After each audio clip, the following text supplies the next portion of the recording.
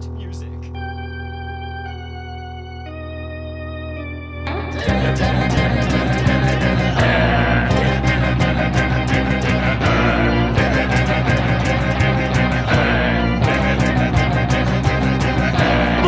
He's not a bat, he's a man who fights crime. And we're gonna watch him fight for a minute at a time with Jon and Niall and a guest who just rhyme. It's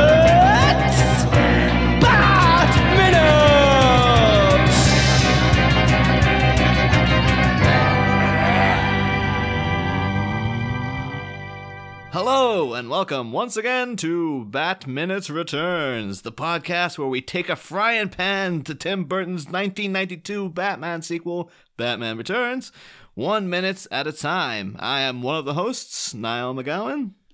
I am wannabe Catwoman, your other host, Jon Parker. Uh, and today we're joined once again by uh, YouTuber, uh, director, and uh, imminently pregnant Stephanie Palacino, who uh, may may well give birth on the show. She is so on the verge here, so it's very tense. It's tense at the minute. Yeah, who knows? You know, uh, weirder things have happened. You know? But if you do get sent in, though, we can get like the doctor's opinions of Batman Returns, and like, maybe, maybe you, we can show them this this minute through the phone. That'd be pretty Doctors, good. this is the NHS, all right? You get your midwife, and that's about it, unless you're dying. I, I can confirm, working for the NHS, yes, that is indeed how it would go down. But this is like the close the closest you get to podcasting on the edge is, is like we could podcast on the on the tip of a cliff, or we could get someone who is just ready to give birth any second. well, it's not really any second. If I start having contractions, then I'll tell you guys. I, I like. I've had. I've accidentally had them before. They had to stop me uh, going into labor. Yes, but if you do have them, So I, I know what they feel like. if you do have them, you are contractually obliged to finish the show. Oh, of I, course. I, I'll do my best. Yes, I'll do my best. no, no, you're actually supposed to do things to distract you. You're not supposed to just like sit there and like, you know, "Ah," you know, screaming out. They're like, no, no, no, you're supposed to relax. See, the irony of going into labor is they tell you the more relaxed you are, the quicker you go into labor. But the quicker your labor is, the stronger the contractions are. What? So it's like, yeah. So you gotta relax while the pain is increasing. so so it's like the worst thing ever. It's like, okay. And they were like they make you take a class. Like, well, you don't have to, but you know, the NHS gives you like a free like antenatal class. Um and I'm and they're telling you what to do. They're like, hug your pet, eat some chocolate, maybe take a soak in the bathtub. And I'm like, okay, so you're doing all this stuff where you're about to like go into labor, or you're in labor already. They call it actually already labor. Like there's labor and then there's active labor. It's like two things. But uh, you know, as a as a lovely American, I'll tell you, long live the NHS, man. We don't know what we were what we we're missing. I keep having to explain this to like the idiots in my country. Like I'm like, you guys don't understand. They're like, oh yeah, we heard it's terrible. I'm like, the only way it's bad is because they keep cutting the funding for it. But actually, it's Yes. amazing. Like you guys don't know. You know what it is? I went to the hospital. I broke my foot.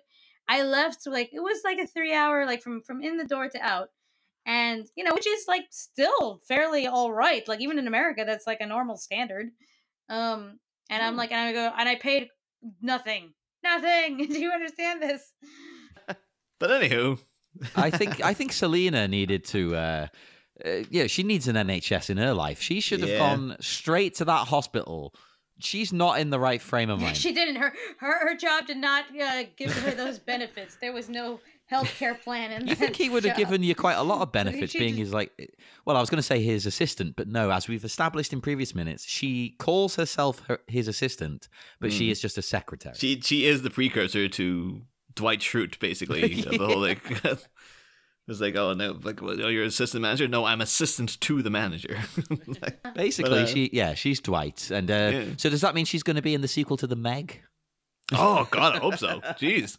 Oh, Oh, I didn't get to watch the Meg yet. Is it good? I mean, oh, good by it's- bad. Pretty it's- good, It's a lot of fun. good. Yeah, yeah, it's pretty fun. It's pretty fun. Doesn't live the up to the crank level of insanity. Oh, good. I, I love those.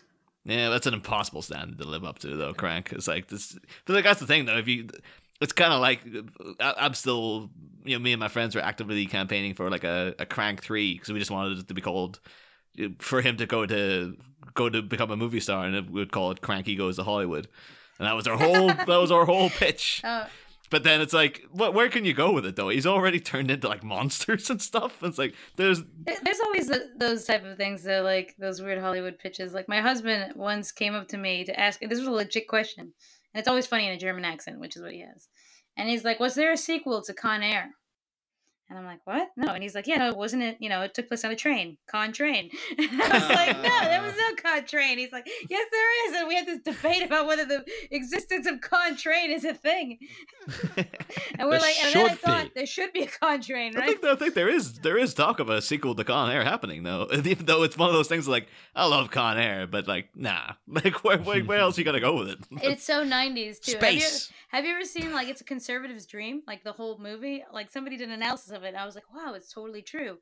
The the main character is a good old boy from the South who's like, you know, in the military. The the evil people are all intellectuals. Uh, you know, that's what Cyrus was. He was like a, you know, a freaking PhD candidate. Uh the Yeah. yeah. that's like oh what like a black guy who's also very educated. That was the other uh, villain. Um, Yeah. the gay guy. like it's like all the villains are like like liberals that they hate. True.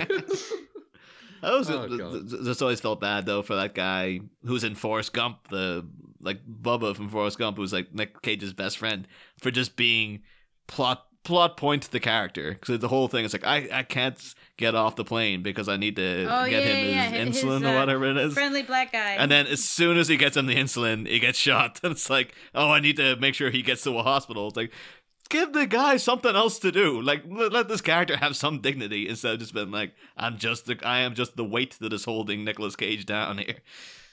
oh man, and there was who? Danny Trejo is like the rapist Mexican. Yeah. Um, yeah.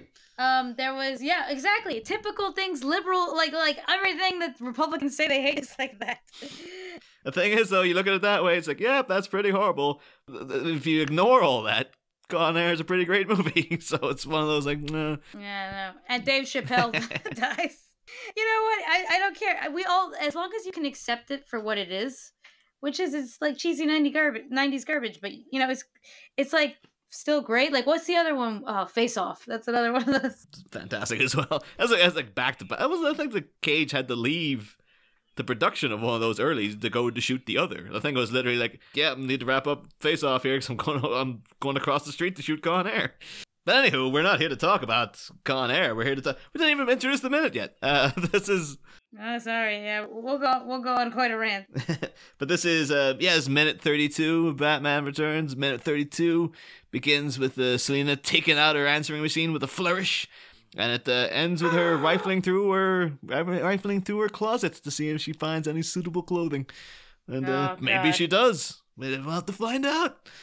Um, As we said in last time, and I still like this scene especially. This minute really uh, sent home. She's not getting back her deposit.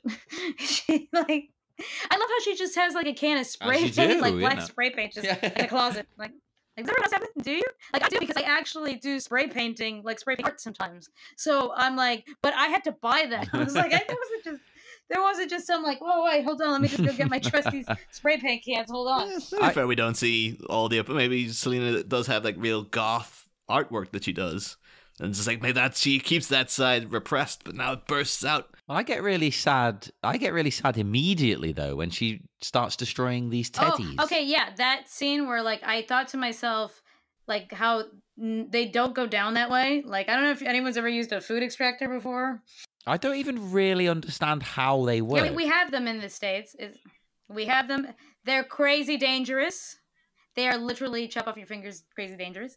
Uh, but we all have them, and um, like it is so that you can just basically pour whatever the hell you want down the sink, and it'll just liquidate it for you. But there, what was it like? So the way these stuffed animals go down, that's not how that that couldn't possibly work that way. Yeah, it gets rid of Ah. like stews and stuff like that, but it's not gonna take down like ten stuffed animals. Like that's gonna clog your sink. So like the passing of time happens here because it seems like she's got to bundle them in this sink, and she's really going to work on that monkey. Like she she hates that monkey. She's going to work And on the monkey. Yeah, yeah, cuts to Selina's face, cuts back, and then it's like, oh, they're all. Uh, has it been like twenty minutes since she's got them all down? Because you think after twenty minutes she's been like, whew, man, this is this is taking a lot of work. Like, I maybe should have just thrown them out the window or something. Would have been way better. Yeah, yeah, yeah, I thought the same thing. I was like, so she's thrown down like 12 of them, and there's just a tiny bit of fluff at the end. Like, eh, I was like, no, that's not what's happened. What's happened is you tried to throw about three of them down there. Uh, whatever buttons were on there have just gotten jammed into the motor, along with like, you know, it's like basically a bunch of fibers, which are also jamming that motor. That's not, it's, it doesn't, it's not made of freaking magic, all right?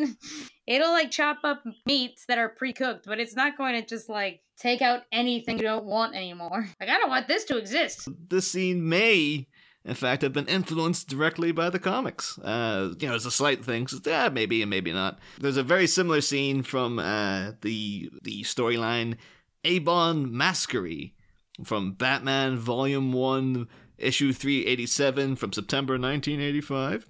Uh, in which uh, the character of Black Mask try, uh, trying to get rid of the last of uh, the other part of his personality, Roman Sionis. Uh, he goes back to his childhood home and uh, sets all his stuffed toys on on fire.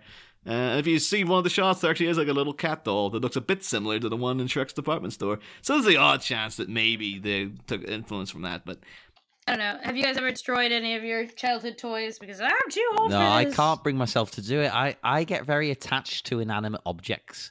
I can't even throw away a pen that's ran out of ink. I feel sad for the pen because it can no longer fulfill its purpose. It's like Jon never goes to visit old folks' homes, landing in and going like, "Look at how old you've become," and they were just like, "Something much worse has happened to you, John."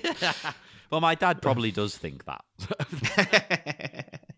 Because uh, that's the thing. She's sitting here. She takes a frying pan to a picture, and the thing is, this is really getting me curious because we know exactly what her beef is with Max Shreck because he obviously, you know, belittled her and then you know threw her out her window. Like, but at this moment though, she she takes like a frying pan to. I've tried to freeze frame it as much as I can. It looks to be like a, a picture of like a kind of black and white picture of a couple standing with a like a, a baby in a pram, which are presumably her parents. She seemed to have a real sort of disdain for her mother calling, and the mother seemed to pester her a lot. But at the same time, it's like I want to know more about what's the deal with Selina Kyle's mother that she.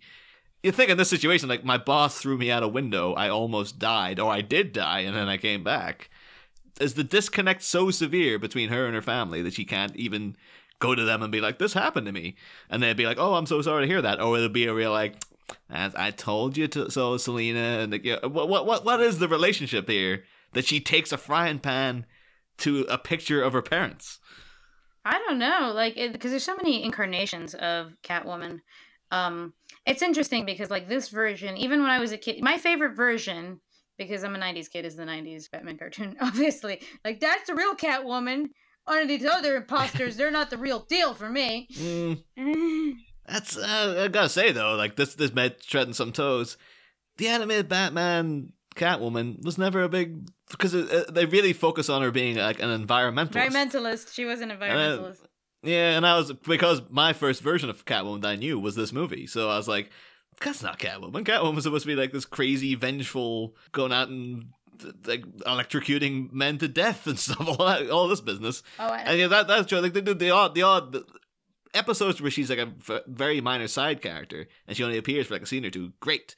But then when it's like they do a lot of weird episodes with her, where it's like there's one where she turns into like a tiger person. Oh, she does that weird Doctor Moreau. Uh, like I, I don't want to say parody, but it kind of seemed like the Island of Doctor Moreau. like uh, I didn't get it. I didn't get it as a kid, but as an adult, I was like, Silent Doctor Moreau, right? Like, like that's exactly Yeah, what it is. yeah. is. Um, And yeah, but there always be ones like, oh, like, oh, this, this, it's it's always animal rights Yeah. stuff. And it's like, um, I'm not, not feeling this. I don't know what it is. Maybe that's just me as a person, but I just like, yeah, I never. And that, like, and that version of Selina Kyle always seemed a lot more innocent than like she's just out to help the animals and stuff. And like, she'll steal stuff occasionally, and she's you know a very smart alecky and stuff, but. Like my, my my version in my head, oh, Catwoman's like a psycho. Like that's her whole thing. Like she's not out protecting animals. It's like oh, she's out for herself and stuff. And that's what you get more in other iterations. So yeah, I'm, I'm I personally am not a big fan of the. Uh, that's that's that's really interesting because that was the opposite. I saw the Batman '90s version first, Then I saw this version, and I didn't like this version for the same reason. Like I was like, that's not Catwoman. Catwoman is not so skanky. Ah. no, not skanky. She's perfect. Not very skanky. I mean, now you can appreciate the, the trashiness of her character, but come on, for, for God's sakes. Like, I'm gonna give myself a bath. I'm like, ah! I will say though, in terms of her environmentalism in this movie, it's notable she's got goldfish there, and those goldfish seem to survive this freakout. So at least she Yeah. was thinking of the fish. She didn't smash the goldfish bowl. Or eat them, you know, like a cat would. it's already established as well. She's she does have a problem at least with her mother. Yeah. So I think she's kind of smashing this picture because uh, her mother's kind of the symbol of everything she's trying to get rid of, everything she Hmm. was trying to destroy by moving to this city in the first place, Yeah. by getting yeah. away from her mom. And uh, it, the frustrations have just come out now. It's uh, Hmm. now she's she's trying to just completely shed that light. Yeah. That's also then quite notable that like she just smashes the pictures of the family and stuff, and then the next thing she smashes is a mirror in which she can see herself, which is obviously very symbolic in the fact that she, her as a person, has been completely shattered. Uh, it's also quite notable as well that the surrounding the mirror is loads of little ornaments of birds, and there's one in the top left corner. For a split second, uh, apparently it's just like something else reflecting on it to make it look like that. But I thought it was a little bird wearing a top hat. I was like, "Oh my god, it's foreshadowing." It's foreshadowing our logo for the season. uh, but thing is, that's not quite. But there is in a couple of seconds. There is foreshadowing of the penguin. But we'll get to that, and uh, when, when we Well, get I, there. I love how um she is. Let's be honest, she's like all '90s children's first look into BDSM. like she she is like her outfit, her demeanor, like that whole her Mm. claws, like it is that.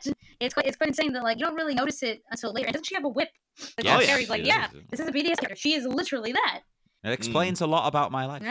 kind of mine too, to be honest. Oh god, I'm gonna be a mom. I can't believe it. There's a lot of crap I gotta like, you know. I say, hey, hey, you're not a mom yet, Stephanie. You get it all out now. Yeah, And Quick. gotta get it all out of my system. I don't know. There's a lot of fetishes for like pregnant ladies, so, so it is what it is.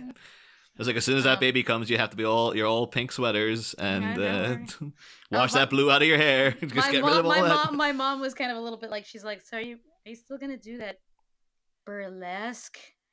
I'm like, uh, Yeah. I don't know. I mean, I I hadn't really practiced or done anything. I think I have to just to prove that I could get back into it because I think women like you know after you have a kid, you're so labeled as like, well, you're a mom now. You can't be doing. so, but Mm. Yeah, exactly. And you need to retain your identity as well as being a mom. oh, Oh, yeah, yeah. woman, hear me roar.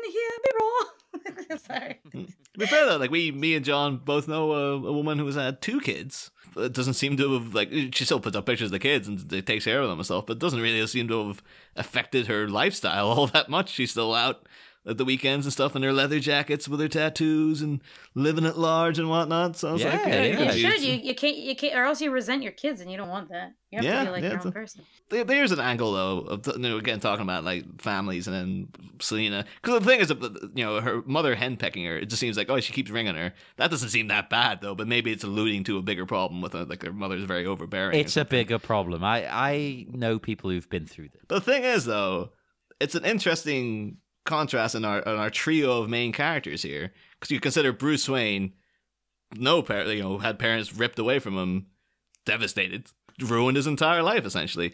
Oswald Cobblepot has had two parents got they got rid of him. And then you got Catwoman here has overbearing mother she's rejecting that. And you know that, that's the last we ever hear of uh, Selina's mother. She never comes back up. Well, you don't become like a costume. You don't become a costume based uh, uh, person of Gotham City if you have like well-adjusted parents and a good family. it doesn't seem like It's a bit of an Um, odd coincidence that it's another animal based one. They all are actually, yeah. except well, these three. Um, That's why you get down into like the condiment king when he's like, "Hey, all the animals were taken. All right, what do you want me to do?" oh, here he is, crazy quilt showing up. It's like, yeah, we ran out of animals a long time ago, man. oh man. We need What's a we need a. squ- I was gonna say a squirrel, but I suppose Marvel have got that. oh, yeah, Squirrel Girl. Yeah, she's she's doing quite well for herself. Although she's a heroic character, so Yeah, but I I've guess been told like good uh, things about. It. Yeah, I've been told that that's actually like a character. To, you know, that's interesting. I've I've heard that Mar- Marvel. I haven't been up to Mm. date in Marvel in like probably more than a decade. So, Um, I don't know what what Mm. the hell's going on. I did read Squirrel Girl for a while, but it got a bit because it's very, very light. It's much more aimed to a younger crowd, and it kind of got to a point like she's pretty much like a perfect character. Oh, I don't like that. Yeah, she never has. She's always super nice. She's always perky. She's all. She's never in trouble. Every I- she can solve any situation. It's just like, no, this is not like this is interesting anymore. Dare you say Mary Sue, the internet's favorite phrase? Let's see, even that though, because like I, I think though, Rey has an arrogance and stuff about her that I think is is supposed. I think so too. I think Rey has more personality than people Absolutely. give her credit. for. I don't. I don't hate Rey. Yeah, actually. I, I think she should have more trials and tribulations than she does. But um, Mm. I don't dislike her in the way that some people just can't stand her. Now, I feel bad for what's her name, um, Kelly Marie Tran, but I hate Rose. Oh, I don't hate Rose. I mean, I don't, I don't love Rose or anything, but she's fine. She's all She's obnoxious. She reminds me of okay. I'll tell you one thing, like that scene where she has to save the animals, but she leaves all the enslaved children behind. Uh, like that is that's that reminds me. Like I always say, I'm like that's your your vegan friend who takes a bunch of coke at a party. That they give you all type of crap about you know eating meat, but like that coke is not like ethically sourced by any means. All right, so put a lid on it. All right, that's what she reminds me of. And that horrible kiss with her and Finn, like that's not her fault. That's like bad writing or directing or some crap. Because I was like, why did she kiss him? Like, I get that they're like gone on an adventure together, but like there was no hint whatsoever that she was into that guy. Yeah, it does come out of nowhere. I'll agree with that. So that's one thing I'll uh, definitely say. I always resent any kind of forced romance into any situation because there seems to be an illusion at the end of the Last Jedi that like, oh, maybe Rey and Poe were going to get together, and everything about like, oh no, because because Finn likes Rey, and I was like, I just thought they were friends. So why can't they just be friends? And Kylo Ren likes Rey too. All right, let's face the thing is though, because Kylo Rey and Kylo Ren and Rey getting together would be more interesting though. Finn, Finn and Rey is like, I don't care. That's what. Okay, admittedly, like you know, I have very mixed feelings on like the Last Jedi. Even though we're getting into the Last Jedi debate, like every like the whole internet has. Um, like I, I also don't hate it like some people hate it, but like it would have been like I would have been so happy if Rey would have gone with Kylo Ren. I was like, that's what needed to happen. oh, totally. I was like, yeah, yeah, it makes sense. This whole Jedi Sith thing. Yeah, you're right. You're right. Oh my God, you got me on board. You have me on board so much. It like you know the whole movie. I get what you mean now, Rian Johnson. And then he's like, no. I'm like, what the, what the hell kind of cock tease was that? Why? well, wait and see. Wait for the next one. You never know. But that was that was my, my my beef with the movie was just the fact that it introduces all these great concepts and teases you with them, and then at the end everything's exactly the way it was, the way it was back at the beginning. Yeah, exactly. Like he's still evil. Kylo Ren is just as much of a villain as before. It's like yeah, but yeah, Yoda Yoda destroyed the Jedi text. No, I didn't. Rey's got him. Like, yeah. so what what the what was the point of this? Why why did I watch this movie? the rock. It's it's not about moving rocks, except now she's moving rocks. Ah, you know. Uh, Luke wasn't like. Oh man, that whole thing. Luke is not really dead, but he's dead. It's like what? Well, d- I mean, we have Selina here. Who was she dead? Is she not dead? I have no idea. But she she does the spray painting bit you mentioned earlier. She spray paints the the wall and door, but uh, seemingly randomly. There's no no message or anything. Sadly. yeah. Well, you wanted to do like a like a statement graffiti piece or something. Yeah, like yeah, some kind of cat themed piece would be good. You know this. You know your your mixed messages right here though, because she opens up the the wardrobe. She's got like a pink. I guess it's a nightie that's got uh, little cute friendly cats, and she blacks them out. Yeah, they're too cute, Yeah, but I was like, I thought she was all about the cats, but like, no, no, she, they're Yeah, too cute, but- too cute. man. Oh, there's the- cats and there's cats. There's these little cute furry things, and then there's street cats. Ugh. But this is the the thing that I was amazed. I never noticed this before. Because this is like holy crap! Like yeah, they they they suddenly placed in on the, on the hanger of the of the nighty there. You've got two penguins, a penguin with a a penguin with a top hat, and a and a, a like a, a Mrs. Penguin, I guess. Yeah, she's got like a like a feather. Yeah, and it says uh, it's the dress up with professional dry cleaning. So I guess she dry cleaned the nighty. I don't know. That seems a bit excessive. I, am gonna say she's just using the hanger for some previous dry cleaning. No, uh, it makes more sense, I guess. But you Eh. take the label off, wouldn't you? I don't know. Ah, maybe maybe it's printed on. I don't know. I've only ever dry cleaned a jacket a couple of times, and it was always smelt weird.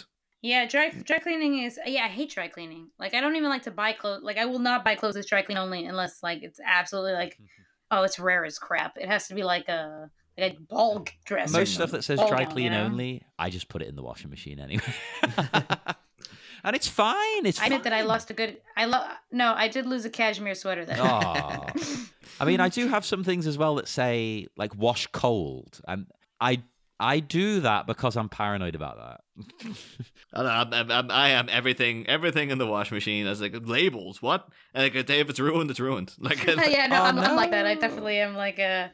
but yeah, I was, I was surprised though. Like that was such a a subtle bit of placement of like of, of mise en scène there. The fact that they have like a, a little penguin on her on her thing. It's like yeah, it's because again, it's a it's a it's a penguin as part of a couple, and she will briefly have a a couplehood with the penguin, kinda like the Of team up. sorts. Yeah, it, it kind of, very kind of. It seemed always a little weird to me. It does. I think it, it maybe lasts about maybe like ten minutes of the movie as well. It's like, yeah, we're doing this now, and then yeah, we did a thing. Oh no, that's, that's over. that's like I, I find that more realistic though than a long term team up. Uh, Yeah. I'm not going to say too much because we'll get there, but What Batman Forever? I like the way they just both. Well, oh yeah, Jesus.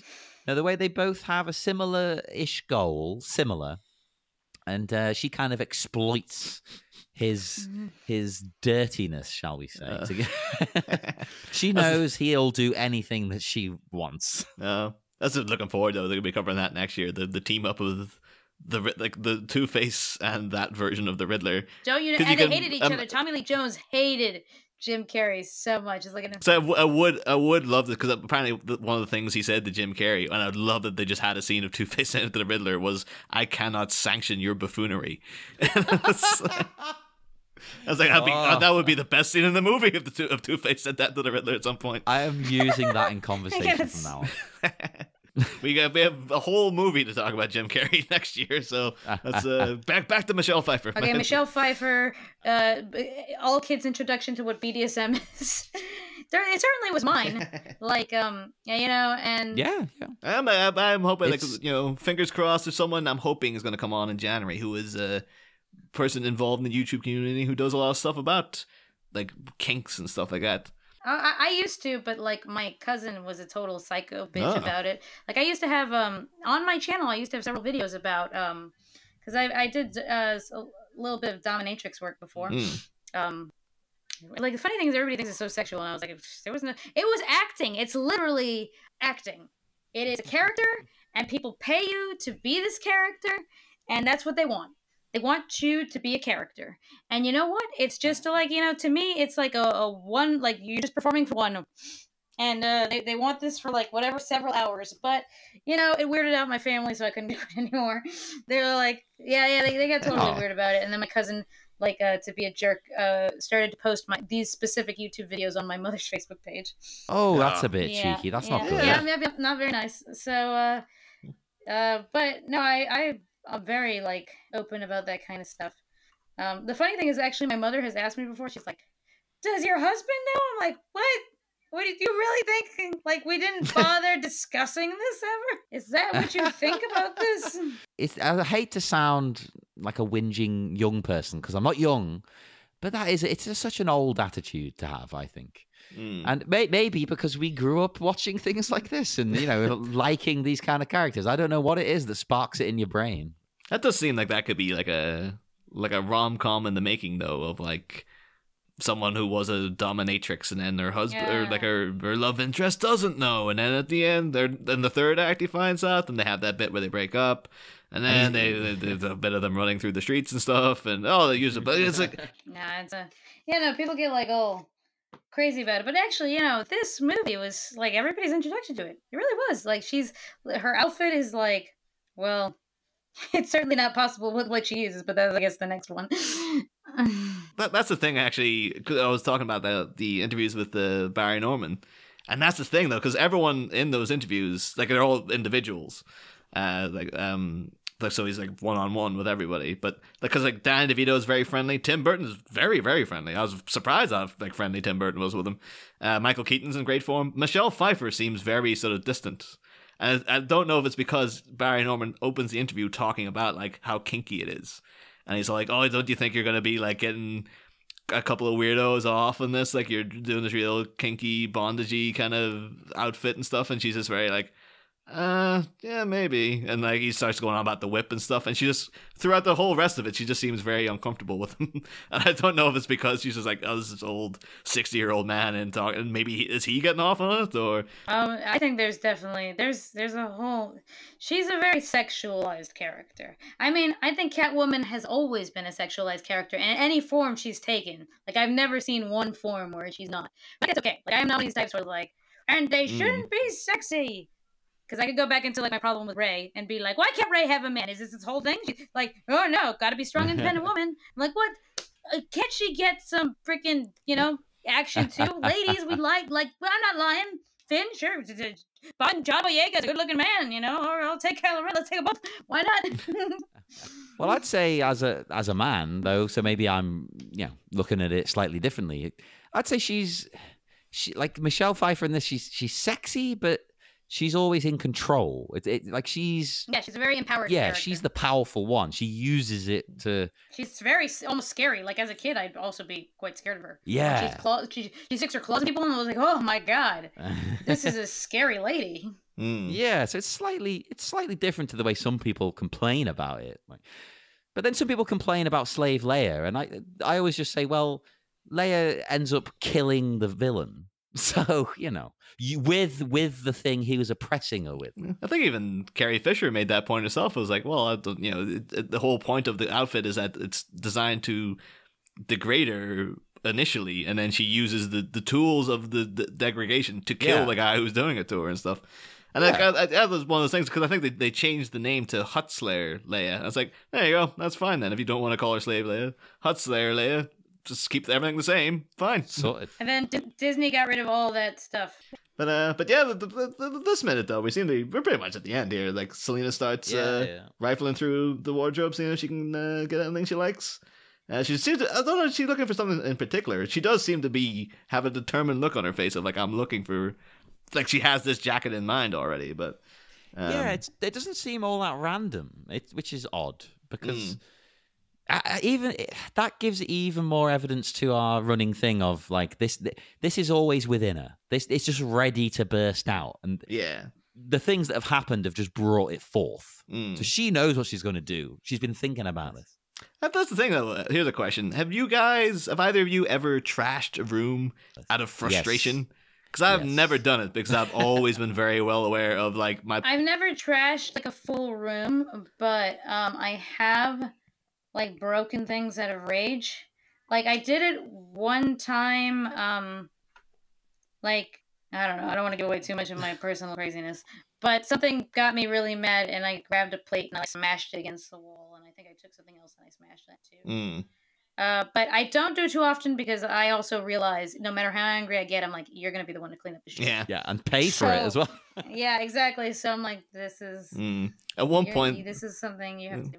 The, the the only closest I've ever come was like I never would have done it when I was younger because my parents would have killed me. And then when I was older, I was very much aware of like, well, I bought this stuff. This is stuff I had to pay for. But I did at one point break a cup out of frustration. And the thing is, it was like a big. It was my go-to cup. It was a big giant thing that held like three cups of tea in it. And Oh, every no. every every cup since has been inferior to that cup. I'm like, oh, I shouldn't have broke that. Like it was, it was such a good damn cup. Just but it was buy another one. You can't find it again. yeah, I just can't track it down at all. It's really, really frustrating. And even the one I have now is slightly bigger than your average cup, but it's like it's not big enough. This is like eh, this is like one cup. How much tea do you need? Well, the thing is, I only dr- I only drink three in a day, but it's like I work from home, so like I don't get out to see what the, the offices of the world are like. But I did briefly work in a, an old folks home, and I remember being astounded by the people who worked there had a cup of tea like every five minutes. And I was like, Well, I I do. I do have about six cups of coffee a day and then a Red Bull. Oh, to say that would kill me. Like, that would actually kill me. That's the thing, because I think my brother's only, he's like 40 odd. He's only really discovered the, the, the, the strength of coffee recently. And he's like, oh my God, coffee's amazing. I never realized how good it was before. But I've always been like growing up with like, oh, I grew up watching Twin Peaks and then the Gilmore Girls, where you're just hearing coffee, coffee, coffee, coffee, coffee. And I've had coffee and I'm like, ah, it's okay. But like, I've. I can't, I Blasphemer. can't drink coffee. I hate coffee. Ah! But I think I'm just I I'm just getting that. I, I, I'm- I don't know if maybe it's a, a family thing that we have sort of sensitive bladders or something because like I am slowly turning into my dad now and the fact that like I have to get up two or three times in the night to go to the toilet. Oh, I'm the same. Don't worry. It's just age, man. It's just Well, age. But the thing is, then if I drink more than those three cups of tea a day, that's me going to the toilet every twenty minutes. Like that's and it, and it's pro- it's just like if you look at it too, it's Oh, completely man. clear liquid that's coming out. It's not even. Oh yeah, yeah. Same here. I literally go every hour, and it's completely clear. I can't, I can't handle that though. It's just like no, no. I just need to. Well, that, I I thought about that because uh, I don't know if you guys know that there's pregnancy, but yeah, your bladder is being smashed to bits right now. Like that kid is riding on your bladder. Like, oh yeah, do you like that? Oh, I'm surprised you haven't had to run off to the bathroom more often in this recording. No, no, no. Um, now I'm scared to go to the bathroom. I was like, I'm thinking we'll listen back to the audio and you just faintly hear the sounds of Stephanie urine urinating throughout the entire thing. oh, uh, I am a master. I am a master cover peer. Have you got a cup and one of those? Uh, sh- what's it called? A Shewee? uh, you you Have can you seen like. those? Okay, so like, it's a w- weird TMI information. So, uh, my husband was a professional poker player, so there's sometimes he can't literally like he'll, he'll be playing online and he can't literally leave the table. So, um, he has like those like camper, you know, camper takeaway johns, I think is what they're called or something like that, and he just has them next to him, and he's like, "Oh, I gotta go," and he's like, okay. just opens one up. As long as he's not on camera or mic. No, no, no, he's not neither of them. But it's always like quite funny because like I think at first I made fun of him, and then like then I realized when he said I would buy it for him, I'm like, oh, don't worry, I got him for you. I do know like, a little bit of uh, inside baseball though of um like a, one of our uh, former guests, Gary Gavigan, confessed to me after we finished his recording last year that at one point he actually did get up and go to the bathroom and went and talked to his wife for a bit, and we never noticed that he was gone. but anyway, I, I guess we're pretty much done for this minute, though. We can probably wrap this one up and. yeah. Yep, good because I do actually have to go to the bathroom now. But yes, we will depart for now and leave you on this Wednesday. Uh, Stephanie, you'll be joining us again on Friday, won't you? So, uh, would you like to tell our listeners how they can get in touch with you if they want to, I don't know, c- compliment you or complain?